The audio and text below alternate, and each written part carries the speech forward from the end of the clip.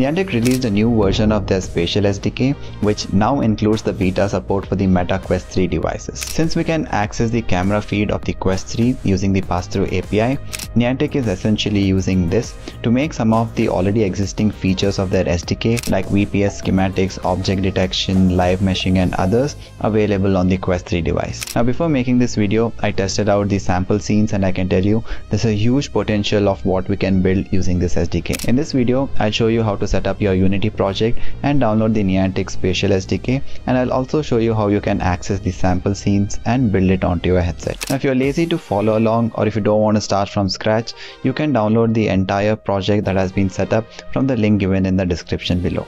Alright then, let's get started.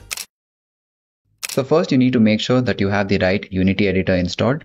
Niantic's SDK is supported on Unity 6 and Unity 2022 LTS. If you're using Unity 6, then make sure that you have the version 0.53 F1 and above. And if you're using Unity 2022, make sure you have the version 3.62 F1 or above. Now, if you don't have the required version of the Unity editor, you can open your Unity Hub, navigate inside the Installs tab, click on Install Editor, and from this list, you can either install the latest version of Unity 6, which is 0.55 F1 LTS, or you can install the latest version of Unity 2022, which is 3.62 F1 LTS. Now while installing, make sure to select Android build support with OpenJDK and NDK tools and also make sure that you have the dev tool which is Microsoft Visual Studio Community 2022. Once you have the required version of the Unity editor installed, you can navigate inside projects create a new project. From the editor version dropdown, make sure that you have selected the right version. And from the templates, you can either choose Universal 3D Core Render Pipeline or you can download and use the 3D built-in render pipeline. The choice is yours. Now for this video, I'll be using the Universal 3D Core Render Pipeline and that's because this requires some additional steps for the pass-through to work, which I'd like to show you. Then you can give your project a name and create the project. First, we need to set up a Unity project for XR development for the Meta Quest 3 devices and that involves adding two packages, Meta XR Core SDK and OpenXR plugin. So first, navigate inside File, Build Profiles, select Android as the platform and switch the platform. Next, make sure you're on the Android tab and from the plugin providers, select OpenXR. Now this will automatically install the OpenXR plugin packages. Next, to import the MetaXR Core SDK, you need to visit the Asset Store and search for MetaXR Core SDK and add this to your assets. Then you can click on Open in Unity and open it inside the Unity editor. Now this will show you the package inside the package manager. All you need to do now is click on install. During the installation, you might get a pop-up asking you to enable the MetaXR feature set click on yes. And then you'll get a prompt to restart the editor. So click on that. Once the project reopens we can use the project setup tool to configure our project for android.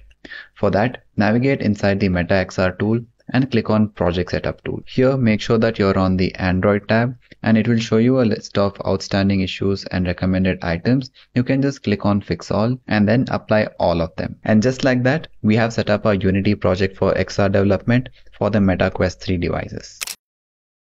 Now we can go ahead and install the Niantic's packages. For that, navigate inside Windows Package Manager.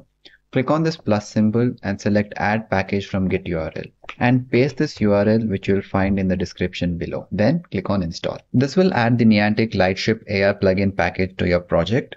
Next, to install the Lightship Quest packages, you will have to click on the plus symbol Select install package from git URL and paste this URL which once again you'll find in the description below and click on install. Once that's done, you'll see that the Niantic Lightship Meta plugin package has been added to your project. Next, we'll have to add an API key. For that, navigate inside Lightship, Settings, and click on Get API Key. This will open the lightship.dev website on your web browser. Here, you can create a new account if you don't have one already if not, feel free to log in. Here, you can create a new project, give your project a name and copy the API key. Then go back to your Unity project and paste it over here. Then you can scroll down and inside location and compass, we need to change the data source from sensors to spoof. Next, we need to activate some of the XR loaders. For that, navigate inside XR plugin management and under the OpenXR plugin, select MetaQuest feature group and also Niantic Lightship support for MetaQuest feature group. Then navigate inside the Lightship menu and run the setup for Meta. Once that's done, you can navigate inside OpenXR and under the OpenXR feature groups, make sure that the Lightship Meta AR camera pass-through has been checked and the MetaQuest camera pass-through has been unchecked. And then we can go inside project validation tool once again and fix all the issues that it's showing. Now there is one error that we'll have to fix manually that is to set the active input handling to the latest input system. For that navigate inside player settings, scroll down till you find the active input handling and from this drop down make sure to select input system package new and click on apply. With that we have our project set up with the latest version of Niantic's Lightship SDK and we are now ready to download the samples and test it on our headset. Now before we download the samples, we need to install the XR Interaction Toolkit as it's a dependency. So navigate inside Windows, Package Manager, select Unity Registry and scroll all the way down till you find XR Interaction Toolkit and install the package. Then select the packages that are added in your project Select Niantic Lightship Meta plugin, click on Samples and import the samples. Then you can close this window and navigate inside Asset, Samples, Niantic Lightship Meta plugin, and then the version number. Inside that we have a folder called samples and in here we have a bunch of scenes that you can test out. Now the right way to configure this is to go inside File, Build Profiles, select Scene List, then select the scene that's currently there and delete it. Then navigate inside Home, Scenes, select the home scene and add it as the first scene. So make sure that the home scene is at 0 and then you can go ahead and add rest of the sample scenes below this. Alright, so I've added all the sample scenes which includes the camera display, depth image, occlusion, cloud device mapping, device mapping, meshing, object detection, semantic image, semantics picker, and VPS localization that makes a total of 11 scenes. Now, as I mentioned at the start of this video, this is just a beta release, which means that there are some bugs and we'll have to fix it. So for that, navigate inside Asset, Sample, Niantic Lightship plugin, the version, samples, select Device Mapping, Scenes, and open the device mapping scene. Here, select the XR rig Scroll down and we need to change the default anchor game object from what is being assigned here to anchor transform which you can find by scrolling all the way up and here you'll be able to see it. If you're not able to see it then make sure to toggle this icon and then you should be able to see it. So select the prefab and attach it over here. Then select the device mapping game object and open the on device persistent script. Now in this script scroll all the way down till you find a function called create and place cube. And in here, we need to add a line of code, which is to get the mesh renderer component of the game object that we have created and add a new material, which is of type lit under the universal render pipeline. And then you can save the script and exit Visual Studio and make sure to save the scene. Save that! Now there are a couple more settings we'll have to configure just because we are using the universal render pipeline. If you're using the 3D Core render pipeline, then feel free to skip these steps. First, navigate inside Edit, select Project Settings. In here, select Graphics and select the default render pipeline, which is PC underscore RP asset. Now, when you click on this, it's going to highlight inside the project window over here. So you can select it. And here under the render list, you'll be able to find the renderer that's being used. And if you click on it, it's going to highlight over here, which is nothing but the PC renderer. So you can select that.